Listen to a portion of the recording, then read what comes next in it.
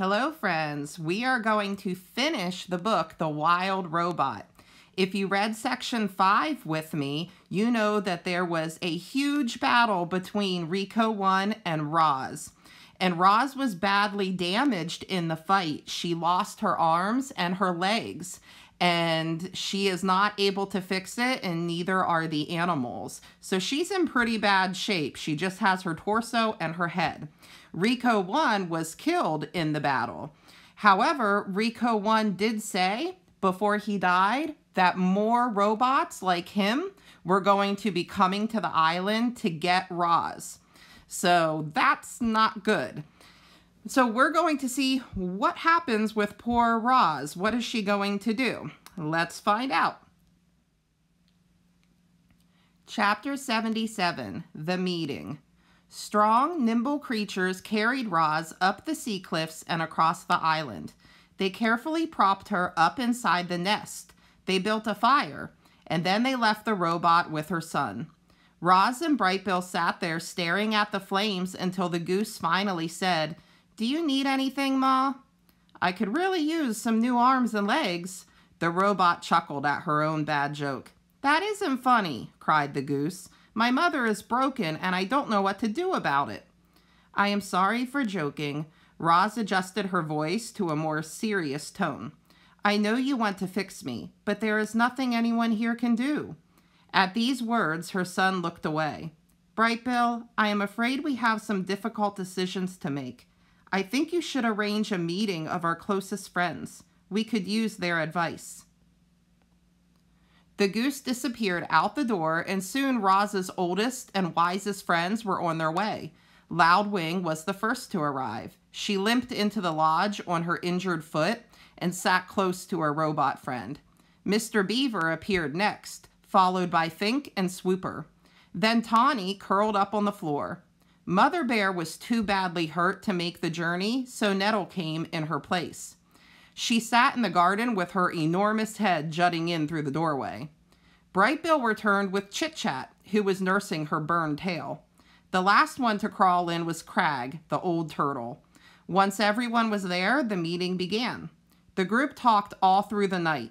They discussed the RECOs. They discussed what to do about Roz. They discussed how to keep the island safe. There were stark differences of opinion and tempers flared, but by daybreak the group had agreed to a plan of action. That morning, the dawn truce didn't take place in the Great Meadow. Instead, it took place in a small meadow by the foot of the mountain, in front of the airship. Weary animals quietly hobbled into the clearing. The only sounds came from a gurgling brook that wound through the gathering and right past our robot. Roz sat in the wet grass. She was leaning against a rock. She looked so sad and frail. However, she still had her thoughts and her words, and for the moment, that was all she needed. Good morning, animals of the island. Roz's voice filled the meadow. I must look strange to you, all beaten up like this, but I hope I still sound like your old friend. Hundreds of heads nodded. You fought bravely yesterday. You risked your lives defending me, and I am eternally grateful. But many of our friends were wounded. Some may not recover, and there is worse news. Before the last RECO died, he told me that more of his kind will come to our island. They might already be on the move, and even if we defeat them, still more will come. My makers will not rest until all of their property has been retrieved. They want the dead robots. They want the broken parts. They want me. The crowd was silent. But I care about this island far too much to put any more lives in danger. And so, my friends, I must leave. Voices cried out, Don't go, Roz. Next time, we'll be prepared. We risked our lives so you could stay. I hear you, the robot's voice cut through the din.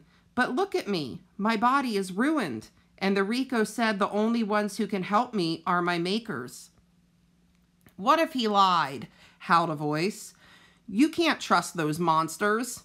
You are right, said Roz. He might have been lying. There may be no hope for me, but that is a chance I have to take. Animals, you taught me to be wild. I want to be wild again, and so I must try to get the repairs I need. It is for the good of me and the island that I return to my makers. A calm settled over the crowd. They knew Roz was right. Chapter 78 The Farewell. Our robot had an army of animals at her command, and she asked them to bring every robot part and rifle back to the airship.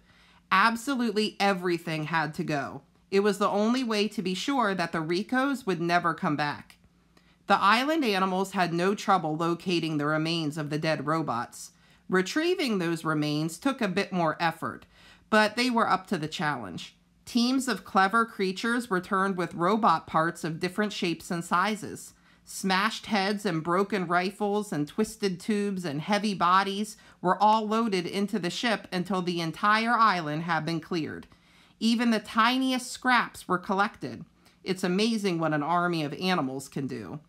A light mist was falling when they finally heaved Roz through the ship's doorway.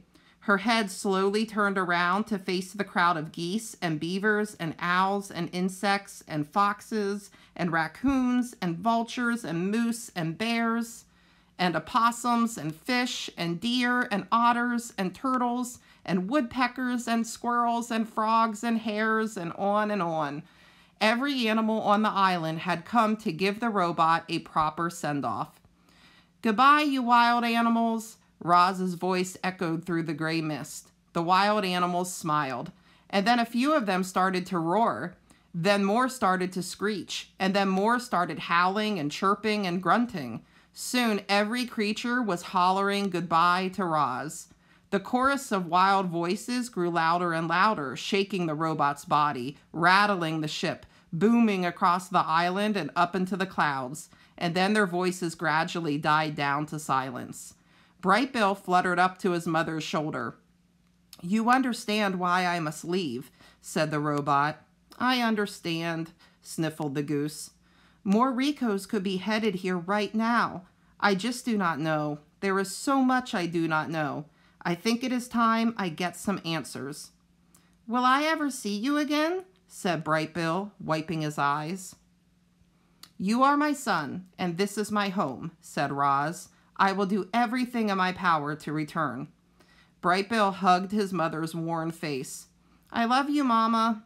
I love you, son. The goose fluttered back to his flock. The robot took one last look at her home. The door hummed closed. Chapter 79 The Departure. The airship's engines automatically fired up. Then the ship slowly floated above the island, turned to the south, and disappeared into the clouds. Chapter 80 The Sky.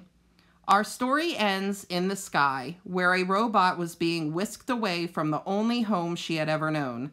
As Roz sat in the airship, broken and alone and speeding toward a mysterious future, she looked back at her miraculous past.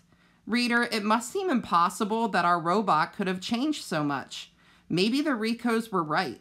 Maybe Roz really was defective and some glitch in her programming had caused her to accidentally become a wild robot. Or maybe Roz was designed to think and learn and change. She had simply done those things better than anyone could have imagined. However it happened, Roz felt lucky to have lived such an amazing life, and every moment had been recorded in her computer brain. Even her earliest memories were perfectly clear. She could still see the sun shining through the gash in her crate. She could still hear the waves crashing against the shore. She could still smell the salt water and the pine trees.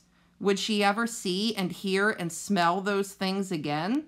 Would she ever again climb a mountain or build a lodge or play with a goose? Not just a goose, a son. Brightbill had been Roz's son from the moment she picked up his egg. She had saved him from certain death, and then he had saved her. He was the reason Roz had lived so well for so long. And if she wanted to continue living, if she wanted to be wild again, she needed to be with her family and her friends on her island. So as Roz raced through the sky, she began computing a plan. She would get the repairs she needed, she would escape from her new life, she would find her way back home. The end. So now that we finished The Wild Robot, I'm really interested to hear what you thought of the ending of the book. It was kind of a little bit of an open ending, a cliffhanger maybe. We have Roz flying back to the factory where she was made so that she can hopefully get fixed. Um, but remember, the RECO said that they wanted to take her back to the factory so that she could be sold. So I'm wondering what might happen to her. We don't know. However, there is a way to find out. The author, Peter Brown, wrote a sequel, a second book for The Wild Robot, and that book is called The Wild Robot Escapes. So if you read this book, you can find out what happens to Roz when she is in that airship. Does she get fixed? Does she make it back to the island? You'll have to read this book to find out. I was able to buy this book on Amazon, but you could also get it at a bookstore or even through the library. So if you like The Wild Robot and want to read the sequel, I highly recommend finding the book The Wild Robot Escapes and reading that. It's a really good book too. So let me know on Seesaw what you thought about the ending of The Wild Robot and any predictions you have for the sequel, The Wild Robot Escapes. Toodaloo, kangaroos.